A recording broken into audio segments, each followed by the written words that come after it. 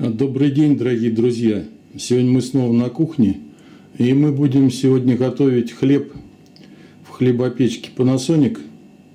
Я еще это называю э, способ приготовления хлеба для ленивых. Но с другой стороны, чем он удобен, то что не надо ни о чем думать, ничего считать, э, положил все ингредиенты в емкость, включил хлебопечку и забыл обо всем. Итак, начинаем. Э, мы сегодня будем готовить хлеб яичный. Э, большую буханку, это порядка килограмма она будет весить. Э, для этого мы взяли следующие ингредиенты. Я просеял пшеничную муку 600 грамм.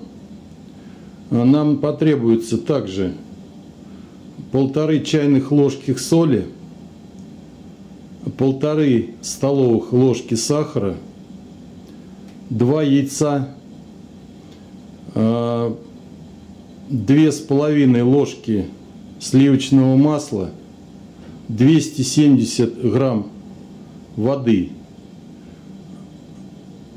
Для этого мы все ингредиенты сейчас поместим вот в эту емкость от хлебопечки.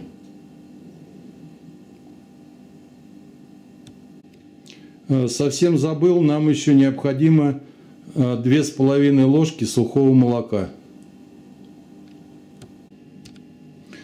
Мы положили все ингредиенты в емкость и эту емкость поместили в хлебопечку. Хочу вам сказать о том, что данный сорт хлеба является ну, калорийным. Поэтому мы его готовим не для себя, а для внука. Поскольку нам уже такие сорта хлеба есть как бы немножко излишне. Мы закрыли верхнюю крышку и теперь мы помещаем в емкость для дрожжей 2 чайные ложки дрожжей. Немного просыпается, но ничего. Это мы почистим. Ну, в общем-то, вот, наверное, это, это и есть две чайные ложки дрожжей.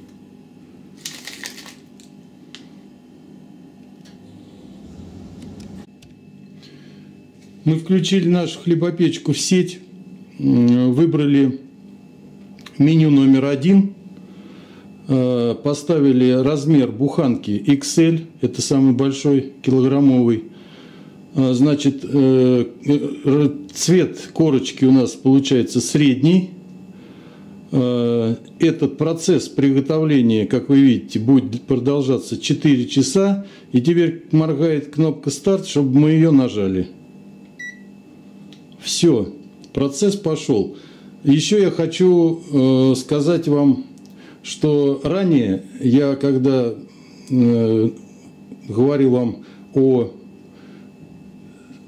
количестве ингредиентов, я говорился, там количество соли и сахара надо не полторы, а две с половиной количество, допустим, соль нужно не полторы чайные ложки, а две с половиной чайные ложки, и сахара надо не полторы столовые ложки, а две с половиной столовые ложки.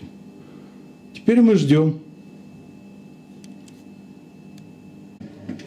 Вы видите, что процесс выстаивания закончился и начал процесс, э, начался процесс замеса. Мы сейчас приподнимем крышку и посмотрим, что там происходит.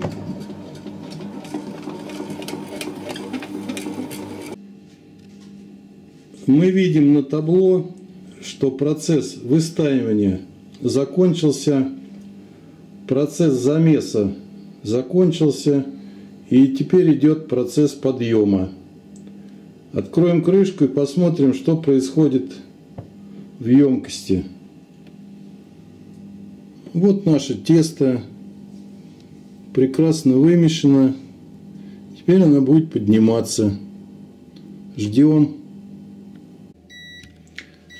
Прошло часы, 4 часа, вот мы слышим сигналы.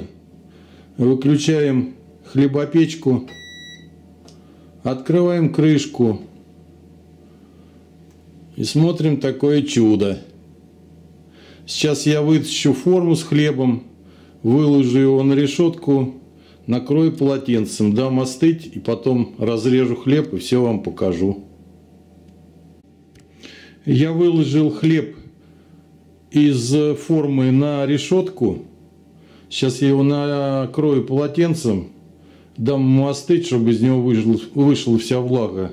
После этого я отрежу кусочек и покажу вам, что делает хлебопечка Panasonic. Вот, дорогие мои друзья, что получилось. Э, я отрезал кусок хлеба, но буханка еще до конца не остыла. Но тем не менее вы видите, что продукт соответствует, наверное, всем требованиям. А, теперь я хотел бы вам сказать следующее. А, все, кто досмотрел это видео до конца, ставьте лайки. Если вам не понравилось мое видео, поставьте, поставьте дизлайки и подписывайтесь на канал. Всего вам доброго, до свидания, до новых встреч.